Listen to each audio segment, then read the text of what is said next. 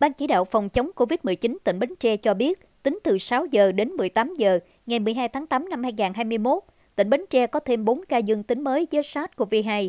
Trong đó, huyện Châu Thành có 1 ca tại xã Quế Thành liên quan đến ổ dịch khoa nội A bệnh viện của Đình Chiểu đã được cách ly tại bệnh viện trước đó. Thành phố Bến Tre có 1 ca tại xã Bình Phú là trường hợp test sàng lọc phát hiện dương tính. Huyện Ba Tri có 2 ca, tại xã An Thủy 1 ca do tiếp xúc với F0 và xã An Gãy Tây một ca. Trường hợp này đi khám bệnh, được test sàng lọc phát hiện dương tính và chưa được cách ly y tế trước đó. Như vậy, trong 4 ca mắc mới trong ngày, có 2 ca được ghi nhận trong khu cách ly phong tỏa và 2 ca phát hiện ngoài cộng đồng. Cộng dồn số ca dương tính toàn tỉnh là 1.238 ca. Trong ngày có 92 ca được ra diện. Cộng dồn số ca ra diện là 567 ca. Có thêm 3 ca tử vong cư trú tại các huyện Thành Phú, Bình Đại và Dòng Trơm.